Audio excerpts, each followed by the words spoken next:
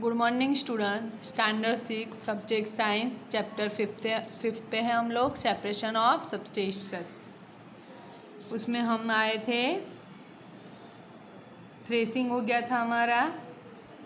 हम आए थे विनो winnowing make a mixture of dry sand with sand dust of powder dry leaves keep this mixture on a plate on a newspaper Look at this mixture carefully. Can the two different components to made out easily? Are the size of particles of the two component, component similar? Would it be possible to separate the component by hand picking? Now take your mixture to an open ground and stand on a raised platform. Put the mixture in a plate or sheet of paper. Hold the plate or the sheet of paper containing the mixture. At your shoulder height, it slightly so that mixture slide out slowly. What happens? Do both the component sand and sand sandust, sawdust fall at the same place?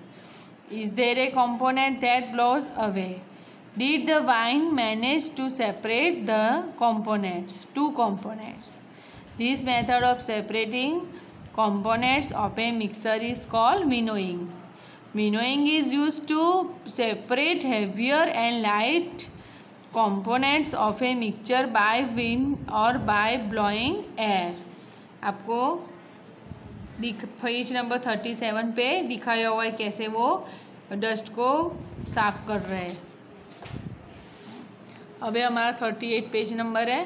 This method method is commonly use bye farmer कौन use करता है ये common farmer लोग।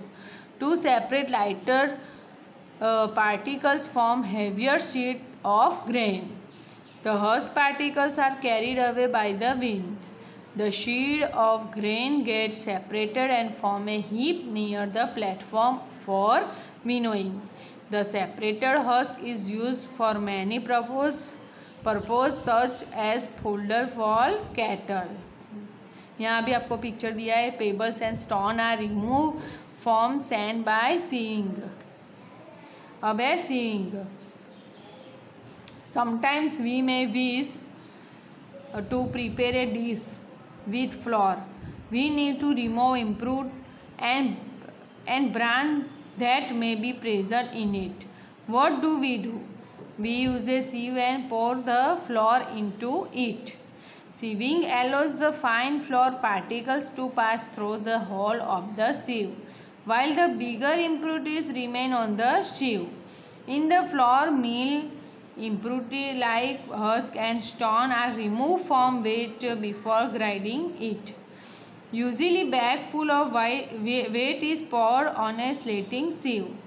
The sieving removes piece of stone, tall husk that may still remain with weight after threshing and winnowing.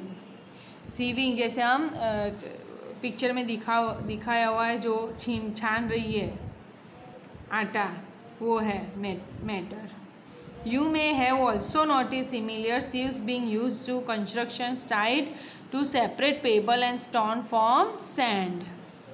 अब activity for है bring a sieve and small quantity of flour from home to the class sieve the flour to separate any impurities in it now make the fine powder chalk piece and mix it with the flour can we separate the flour and the powder chalk by sieving sieving is used when component of the mixer have different size अब शेंडीमेशन Deccan decantation and filtration हम next video में देखेंगे। Thank you.